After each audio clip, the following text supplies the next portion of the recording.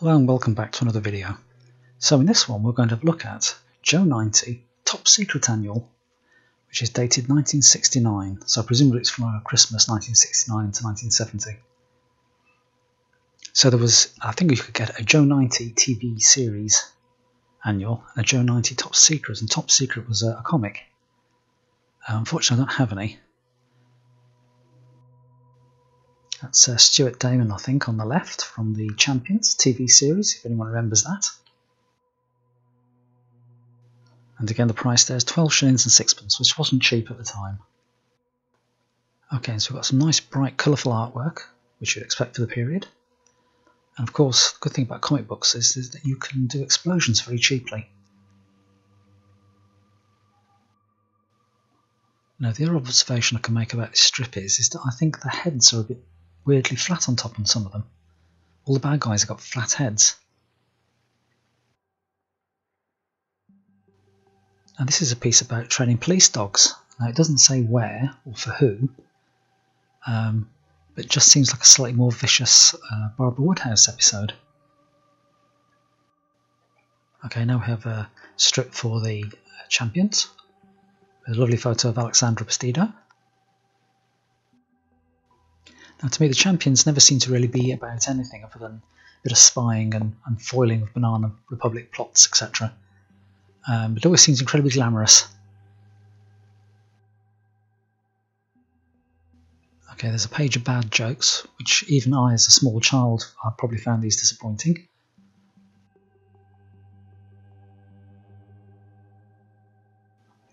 Ah, football. Something I never really got, I have to admit. But now I'm a grown up, I'm allowed to say it. I don't get football. Now, this is something you have to agree is a bit weird. It's basically the story of Ninepence and Tenpence, right? Who are two, well, we would say Inuit boys, uh, but they're very definitely called Eskimos in this. Um, and so basically, they play football. Um, yeah, it's a bit weird, and they do swimming and stuff, and adventures. This is something I wasn't into either, was uh, stamp collecting, but obviously it was a really big thing, um, and that's something I think has changed with time. Now, I should add that uh, I, I was actually into collecting postcards, so there you go, I'm a nerd.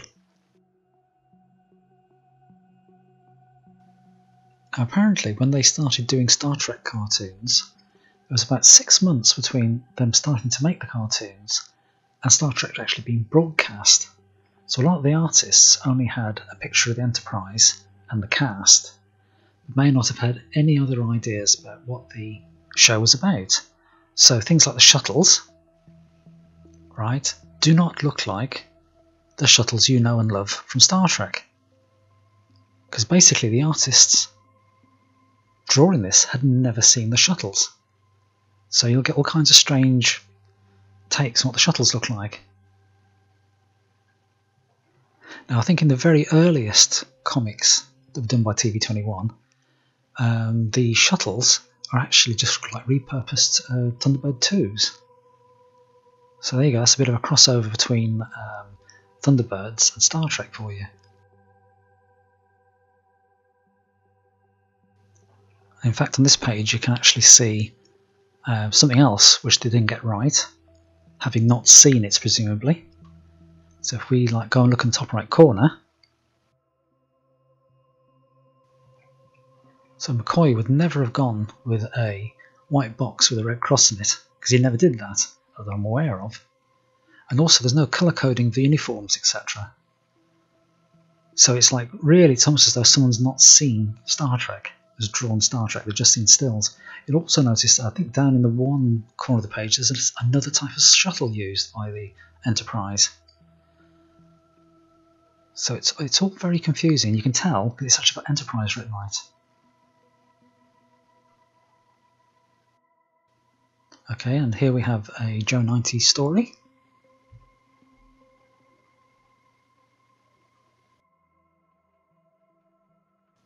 Now on the right we've got some things for magic tricks, uh, making an electrostatic generator, etc. So, um, and then that is followed by more really bad jokes, so we won't go there.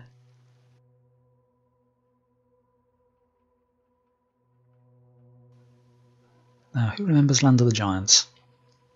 Now, weirdly, I never really got into this. It was one of those things that if it was on, I would watch it, but I wasn't particularly passionate about it.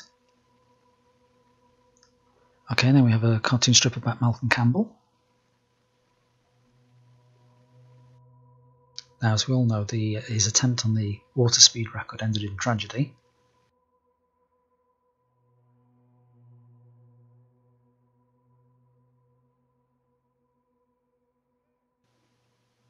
Okay, so some more on stamps. Unfortunately, it's going to be nerd alert because I'm going to have a little talk about dinosaurs.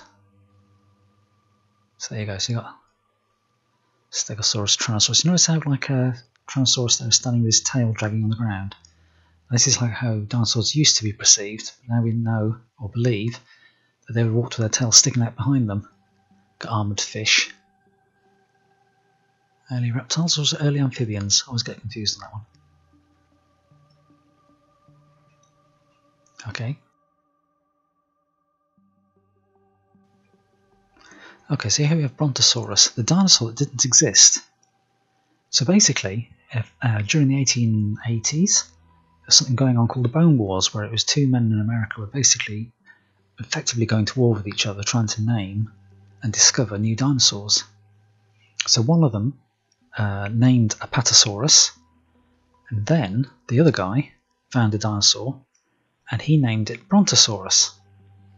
And then come around about 1900, 19, just before the First World War, uh, another paleontologist looked at his findings and went, no, that is not a Brontosaurus, that's actually an Apatosaurus. And so Brontosaurus ceased to exist because really it was an Apatosaurus. But everyone still knows of Brontosaurus, or at least they think they do, but it's the dinosaur that doesn't exist. Anyway, when you get up to about uh, very recent, like 2015, 2018, something like that, someone did some new research and decided actually Brontosaurus is a different dinosaur. And so Brontosaurus was alive again. So it's one of the few dinosaurs that can be said it went extinct, was resurrected, went extinct, and was resurrected. And again, you'll see how all these animals are displayed with their tails dragging on the floor, which they don't believe now would ever have happened. So the way these are all represented has changed quite drastically. So anyway, nerd alert over. So anyway, that's stamps. Very exciting.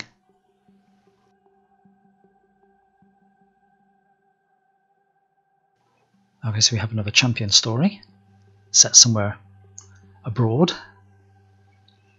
and look at that. So a bit of violence there. So he's, he's able to wrestle a man to the ground and not get his not in his tie messed up. And she's ready with the gun.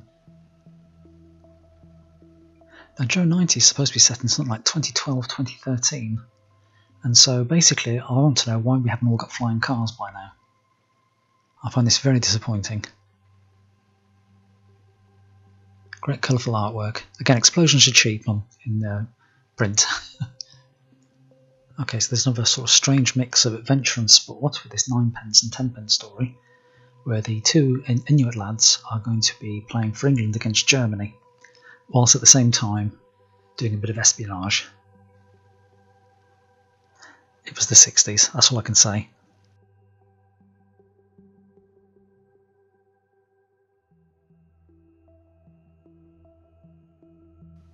Okay, and there's a little quiz on Star Trek so I hope you're paying attention.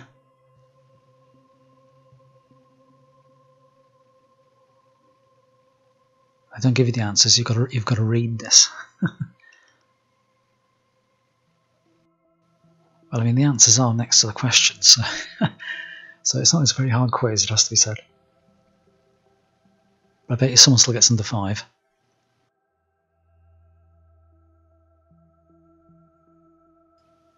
Now we have a few pages on American uh, flight, pioneers, etc. The Wright brothers, Spirit of St. Louis, etc. B-52. Who would have thought the B-52s would still be flying? And also making great records. Sorry, it's a cheap joke. Um, and yes, the Lockheed L2000. That's going to be like a sort of American Concorde. Well, that never happened. Obviously then, they thought it might. So there you go. Okay, and lastly we have another Land of the Giants story.